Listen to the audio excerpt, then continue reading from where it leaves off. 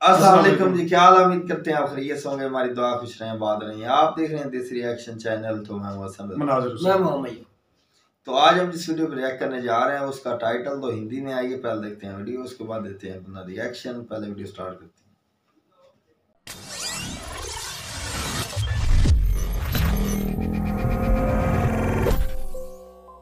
लेकिन इन लोगों ने ईडी का धन्यवाद करना चाहिए कि ईडी के कारण ये लोग एक मंच पे आए हैं। ईडी ने ईडी ने एक लोगों को एक मंच पर ला दिया है।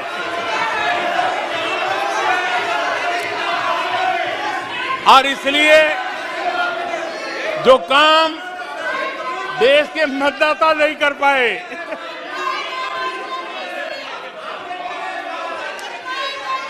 आदरणीय अध्यक्ष जी, मैं कई बार सुन रहा हूँ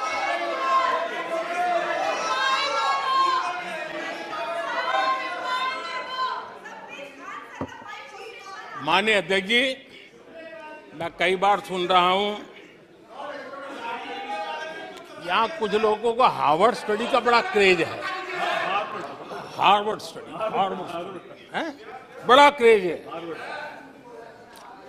कोरोना काल में ऐसा ही कहा गया था और कांग्रेस ने कहा था कि भारत की बर्बादी पर हार्वर्ड में केस स्टडी होगी। ऐसा कहा था।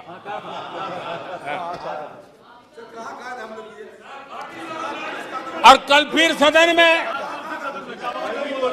हार्वर्ड यूनिवर्सिटी में स्टडी की बात कल फिर हुई।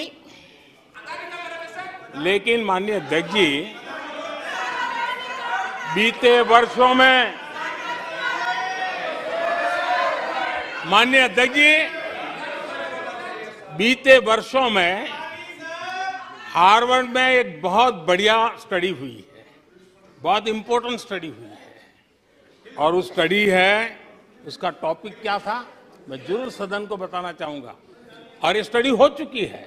स्टडी है the rise and decline of India Congress party ये स्टडी हो चुका है। और मुझे विश्वास है अध्यक्ष जी। मुझे विश्वास है, भविष्य में कांग्रेस की बर्बादी पर, सिर्फ़ हार्वर्ड नहीं बड़े बड़े विश्वविद्यालयों में अध्ययन होना ही होना है। और डुबाने वाले लोगों पर भी होने वाला है। आदरणीय अध्यक्ष जी, मैं ऐसे लोगों के लिए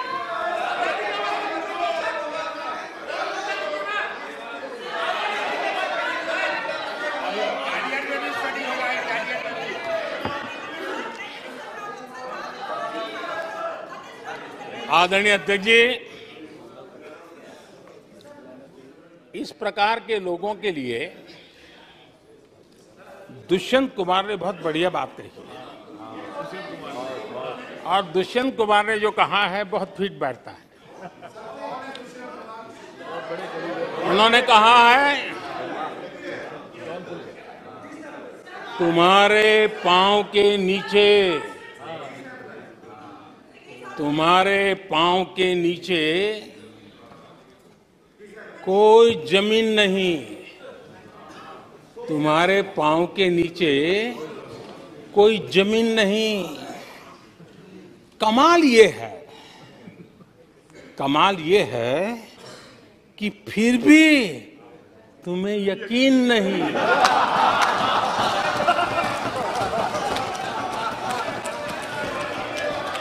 माननीय अध्यक्ष जी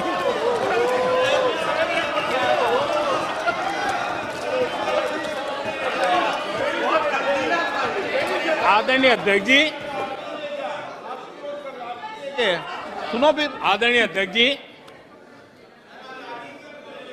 ये लोग बिना सर पैर की बातें करने के, आदि होने के कारण, उनको ये भी याद नहीं रहता है वो खुद का कितना कॉन्ट्राडिक्शन कहते रहे कभी एक बात, कभी दूसरी बात, कभी एक तरफ़, कभी दूसरी तरफ़। हो सकता है वो आत्मचिंतन करके खुद के अंदर जो विरोधाभास है, उसको भी तो ठीक करेंगे। अब 2014 के से 2014 से ये लगातार कोस रहे हैं, हर मौके पर कोस रहे हैं। भारत कमज़ोर हो रहा है। भारत की कोई सुनने को तैयार नहीं है। भारत की दुनिया में कोई वजूद नहीं रहा। न जाने क्या क्या कहा। और अब क्या कह रहे हैं?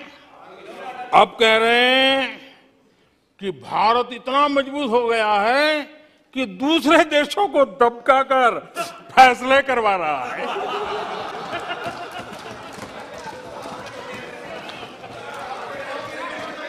अरे, पहले ये तो तय करो भाई कि भारत कमज़ोर हुआ है कि मज़बूत हुआ है? मान्य अध्यक्ष जी,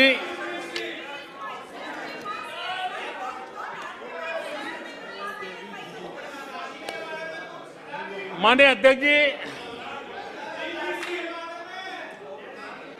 कोई भी जीवंत संगठन होता है अगर एक जीवंत व्यवस्था होती है, जो ज़मीन से जुड़ी हुई व्यवस्था होती है, वे जनता जनार्दन में क्या चलता है लोगों के अंदर, उसका चिंतन करता है उससे कुछ सीखने की कोशिश करता है, और अपनी राह भी समय रहते हुए बदलता रहता है। लेकिन जो अहंकार में डूबे होते हैं। जो बस सब कुछ हम ही को ज्ञान है, सब हमारा ये सही सही है। ऐसी जो सोच में जीते हैं, उनको लगता है कि मोदी को गाली दे करके ही हमारा रास्ता निकलेगा। मोदी पर झूठे, अनाप शनाप कीचड़ उछाल करके ही रास्ता निकलेगा। अब 22 साल बीत गए वो गलत फहमी पाल करके बैठे हुए हैं।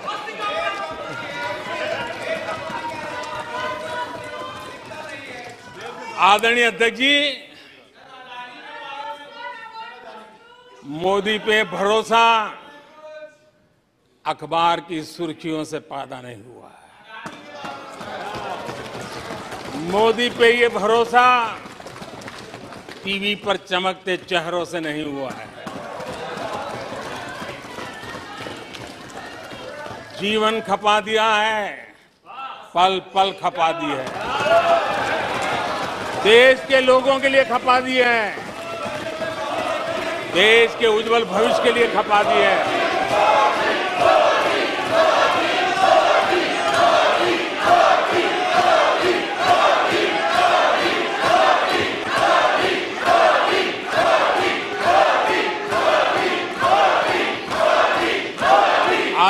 अध्यक्ष। जी आदरणीय अध्यक्ष। जी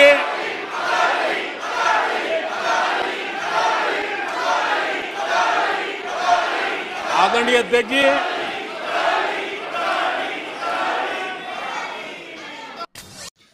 जी जी दोस्तों, वीडियो तो कमाल की थी। अच्छा यहूब भाई दो बातें यहाँ मुझे नरेंद्र मोदी साहब की जो है वो बहुत अच्छी लगी। एक तो ये कि उन्होंने बोला कि राहुल साहब आज बैठे हैं तो चलो एक बात तो और ये इकट्ठे भी बहुत अरसे बाद हुए हैं। पुरानी वीडियोस में देखा था लेकिन आज नई वीडियो में देखने का मौका मिला जो इसमें थोड़ी सी मीठी मीठी ना। बाकी वो सियासी बातें तो उनका करना हक बनता था हाँ। जैसे उन्होंने की। दूसरे नंबर पर जब उन्होंने शेर बोला ना कमाल अंदाज था यार। क्यों ये वो भाई? शायद नहीं लगा था यार ये नरेंद्र मोदी साहब ऐसा शेर बोल रहे हैं इस अंदाज में यार वो बिल्कुल जैसे ना एक तो शेर ऐसा बोल रहे थे दूसरा उनका जो अंदाज था ना वो कमाल था। मतलब वो क्या बोल रहे थे कि एक तो इनके पाँव के नीचे ज़मीन नहीं है। हाँ। लेकिन मज़े की बात है कि इनको यकीन नहीं कमाल ये है कि इनको यकीन नहीं कमाल ये नहीं ये ऑपोजिशन का हक होता है इस तरह की बातें करना या लेकिन ये शायराना अंदाज। खींचते रहते हैं। बहरहाल ये कि उन्होंने भाई अपनी मेहनत के बलबूते पे ठीक है ये वाकई कहते थे कि ये जो आया बीजेपी है ये कुछ भी नहीं कर सकेंगे ये इंडिया का नाम ही डबो देंगे ये करेंगे वो करेंगे। मतलब को पूछता नहीं है इंडिया तो आज उन्होंने करके दिखाया है और दुनिया उनका नाम ले रहा है। दुनिया में मोदी का नाम नहीं है। इंडिया। में इंडिया का नाम है इंडिया का। बनाने वाला मोदी और मोदी की पार्टी है। तो उनको ताकत किसने दी मोदी को? इंडिया की आवाम ने दी। अगर वो इंडियन अवाम मोदी की पार्टी के ऊपर ना भरोसा करते तो वो कैसे लीडर बनते? यार इतने साल उस हो गए अवाम ने एक, एक आम इंसान के ऊपर उस अवाम ने भरोसा किया। फिर वो पहले सीएम बने फिर वो प्राइम मिनिस्टर बन गए दूसरी बार तो उन्होंने भी अपनी आवाम का जो भरोसा है वो तो टूटने नहीं दिया। उन्होंने उसको चार चाँद लगा दिए उसने उसको भाई इंडिया को हिंदुस्तान बना दिया और कमाल कर दिया दुनिया में एक नाम बना दिया। तो वाकई आज वो कहते हैं कि अच्छा आप बता रहे हैं ना वो राहुल गांधी साहब जो है वो बोलते थे कि इंडिया जो है वो बहुत कमज़ोर हो गया है। दूसरे नंबर वो बोल रहे हैं नरेंद्र मोदी साहब बता रहे थे ना। आप बता आप बदल गया इनका इन्हीं का बयान बदल गया कि इतना मज़बूत आप वो कुछ कह ही नहीं सकते क्योंकि उनको पता है उनको दिख रहा है। मीडिया पे देखते ही हैं उनको पता ही सभी जो अपोजिशन वाले हैं उनको पता ही है इंडिया का नाम आज दुनिया उनकी कह रही है कि इंडिया यूक्रेन की जंग में अगर कोई अच्छा कर सकता है तो हिंदुस्तान कर सकता है। अगर आज जी ट्वेंटी हो रही थी हिंदुस्तान में दिल्ली में हो रही है जम्मू इनकी है।